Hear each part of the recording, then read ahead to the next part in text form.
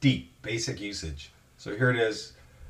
I've started it up. I'm in my root, my home folder. I've got 48,000 images. How do I browse them? Well, I can browse by location. Here's all the folders with images in them. You can even uh, go into your uh, i iPhoto library and we sort of intelligently go through that. You can see images by date. You can see I got most of my images in 2008. This isn't actually the computer with all my images on it. But if I go back back to home here, I've got I've got 48,000. So you can go in by location. If I know the name of a folder, I can just type it in here, and uh, presto, it locates all the folders called Yep on my whole computer, and tells me how many images are in each one. So that, that sort of location here, I can just filter by uh, file type. So if I wanted BIMPs for some reason, there there they are, some old BIMPs. Um, I can go by size and shape. So if I wanted uh, small images, if I wanted really large images, narrow, tall, uh, 35 millimeter uh, aspect ratio, wide,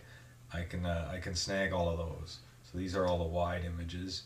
And then if I wanted a wide GIF, I can just do that, and there's all my wide GIFs. So for instance, that's going to hit banner ads and stuff like that. Um, here it is by rating. I can just click on a rating and it'll show me all the photos that I've highly rated. I can, if I click on a certain color, I get images that have that spot color in them. And here's keywords that are set by me or by uh, image stock houses. Uh, and I can click on any of those and get and get images. So that that's basically a, a, very fast tour. When you when you do have an image, if you click on it, you can you can quickly look at large versions of it.